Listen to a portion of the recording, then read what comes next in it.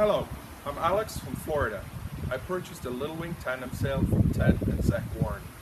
In this short video, I will demonstrate the false advertising Ted and Zac do related to the weight specifications of their boats.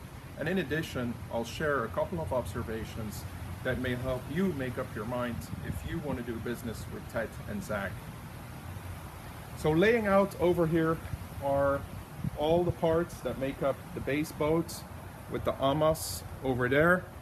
Um, so you have the two amas, then coming back, we have on the floor, we have the, the mainsail, we have the jib, we have the mast, we have the uh, crossbars, and then over here on the table, we have the three options that I was able to separate from the um, main boat. So on the left, we have the two trampolines. In the middle, we have the spray guards. And to the right, we have the screecher. If you will notice, um, in order to do a, a, real good weight assessment, I removed from the command console the Harken blocks that are uh, part of the screecher, as well as the uh, halyard um, that is uh, built into the mast to uh, pull up the screecher. The only option I was not able to separate is uh, obviously the expedition bottom but you can see inside the boat here um, you can see that there's uh, there's more the bottom here is is much thicker than the sides and so that's kind of proof that the expedition bottom uh, was installed.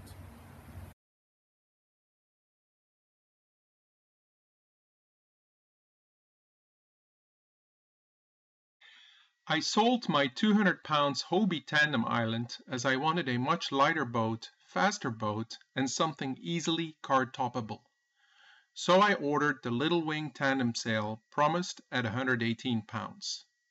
Please see the yellow arrow references to the weight credentials of the boat.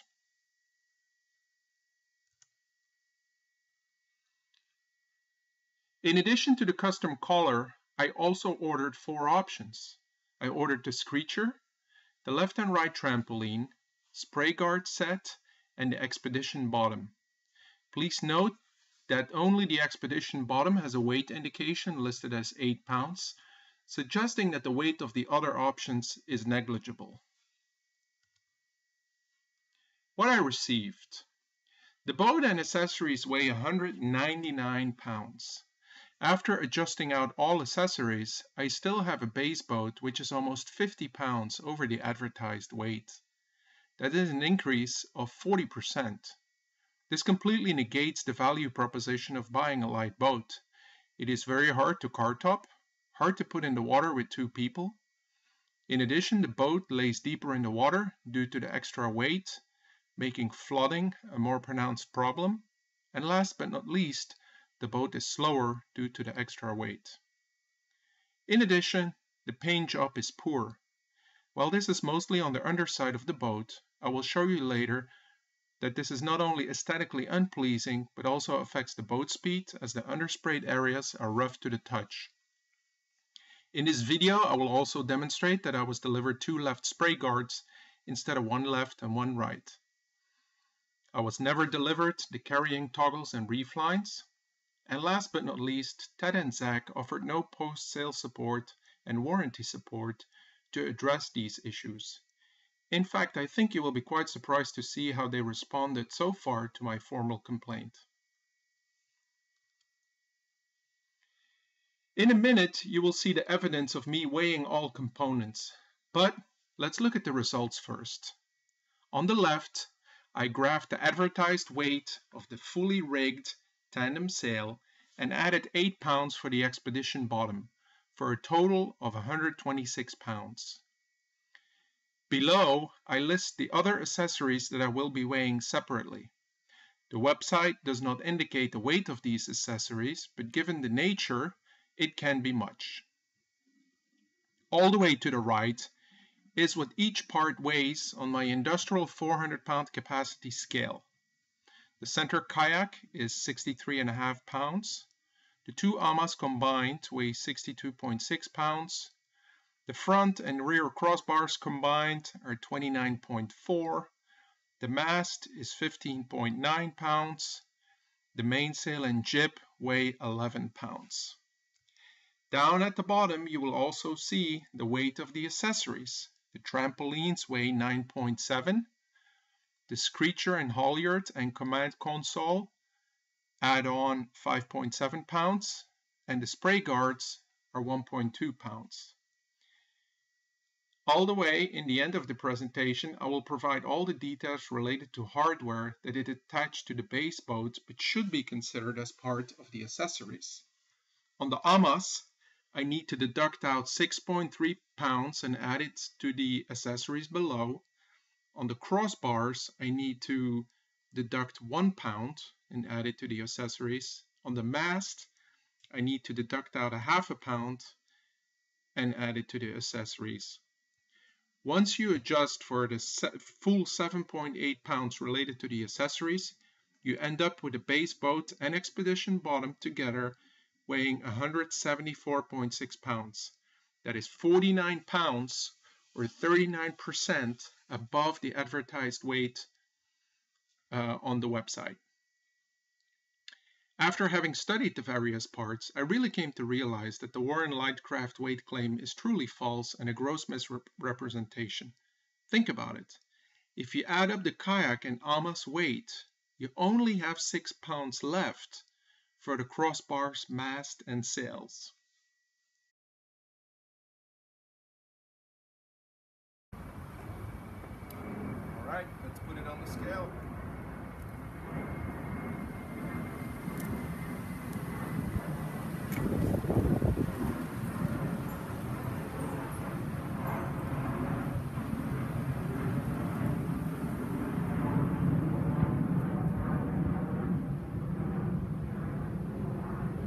Sixty-three point five.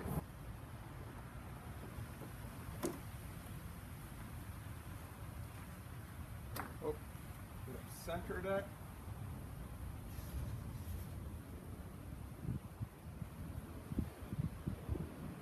Thirty-one point four.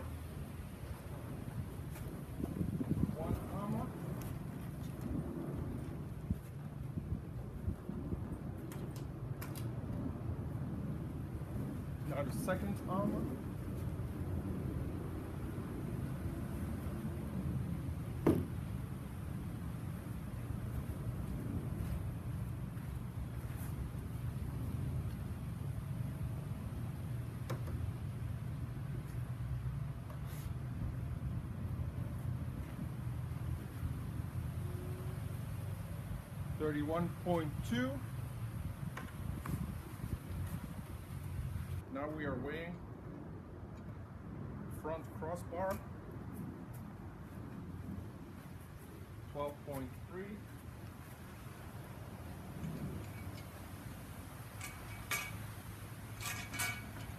Now we weigh the rear crossbar.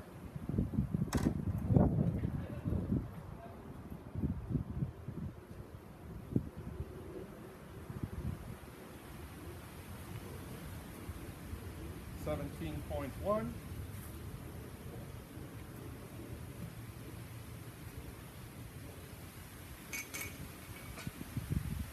Now we weigh the mast without the screech or halyard.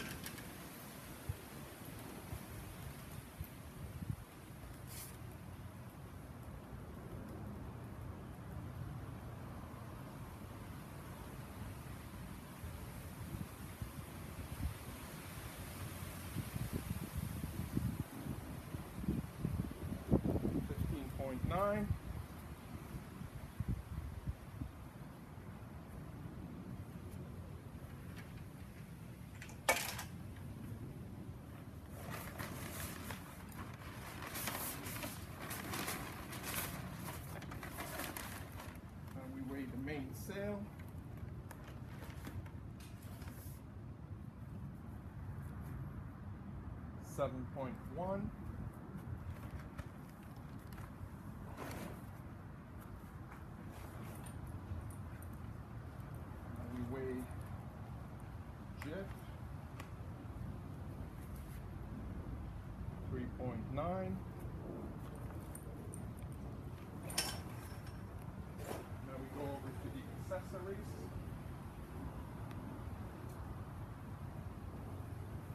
are the two trampolines.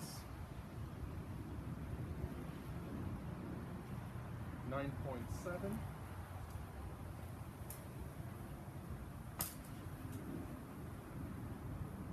The spray guards. 1.2.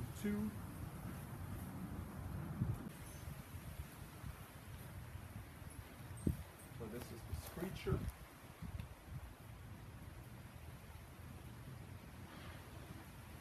And now I need to add the halyards, which is typically that goes inside the mast, which I removed here. And uh, the portions of the command console, which are part of the structure. For a weight of 5.7. Okay.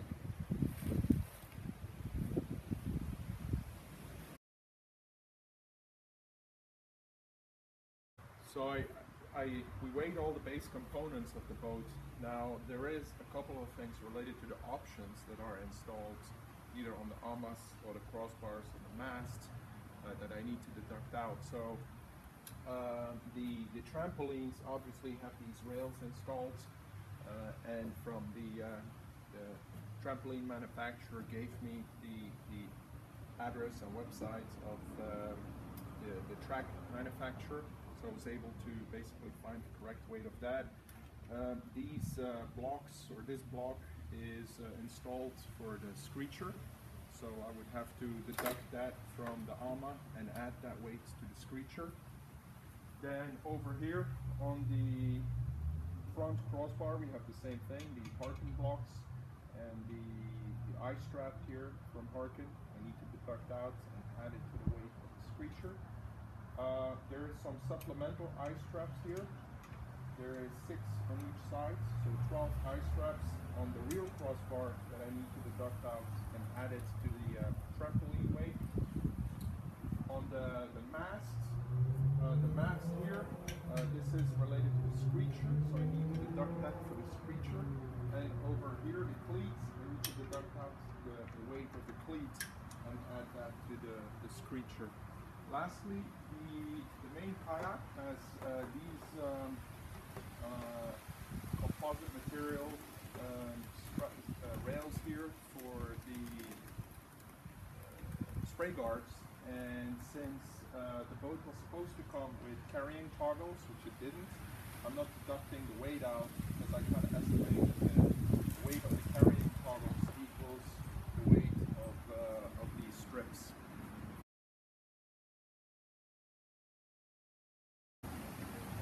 Another uh, observation I want to share with you uh, and is the, the, the rather poor paint job. So the, um, the, there's there's multiple areas for the most part on, on the bottom of the boat, in, in some places on top, where there's just in, insufficient paint uh, coverage.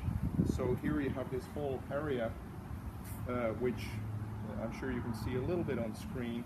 that just doesn't have enough coverage and it's aesthetically not very pleasing, but in addition, it really um, hinders the, the, the sailing. It, it slows the boat down because it's rough. Like if I move here, you really don't hear anything, but if I go over this area, you can you can clearly hear that it's that the surface is rough. The same thing here, uh, this area here, that's insufficient coverage. Then if we move over here, there's similar areas here where, where it's, it's rather rough. Here's the same thing, area not covered. There's a whole uh, area here that is uh, insufficiently covered. So, so just uh, to kind of um, point that out and, and see if, uh, let you decide if um, that's what you want to do.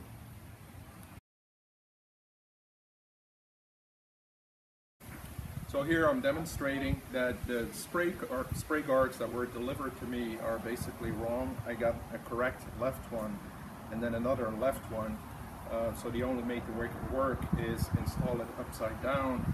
Um, which obviously uh, aesthetically is uh, is not very pleasing uh, because really this this is the right side uh, obviously not this side this is really meant to be obviously the underside so I got delivered two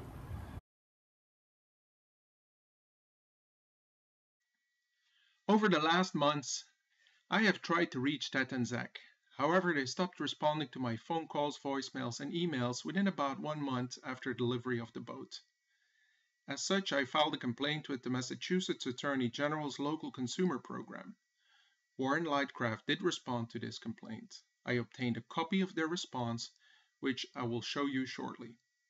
Unfortunately, they reject any wrongdoing and refused face-to-face mediation. Lastly, I sent by registered mail a formal, formal 93A demand letter. As of the date of posting this video, I have not heard back from Ted and Zac.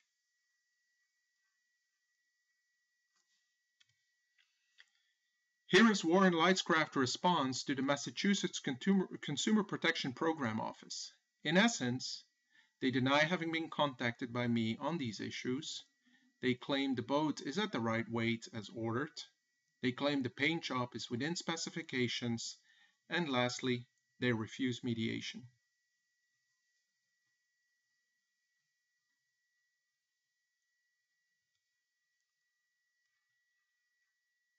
So here's my conclusion. Warren's, Warren Light Craft's weight claims on the Little Wing tandem sail are completely false. Go weigh yours and find out for yourself.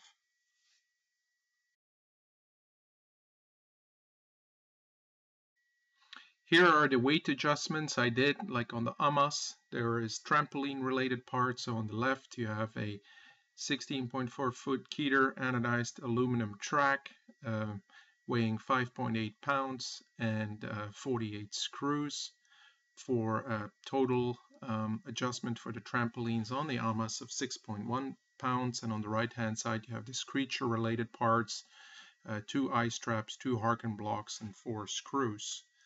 Uh, here I just pasted uh, the website. Um, so Slow Sailing Canvas is the manufacturer of the trampolines and an American Keder um, uh, provides the single profile aluminum Keder rails.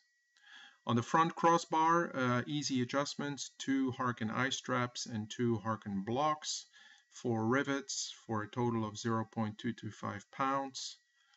On the rear crossbar, we need to deduct out 12 Harken eye straps and 24 rivets for a total weight of 0.75 pounds.